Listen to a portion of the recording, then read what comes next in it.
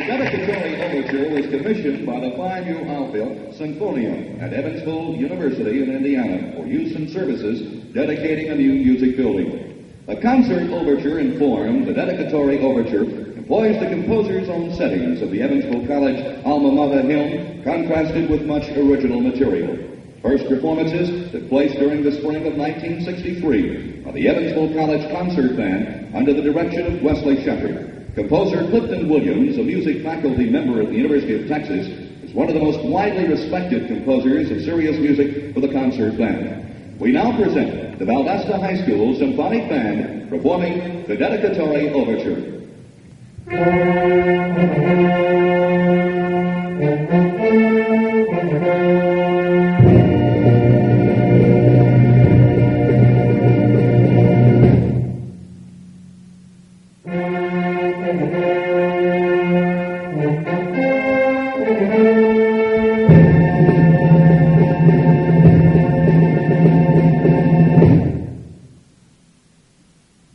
Música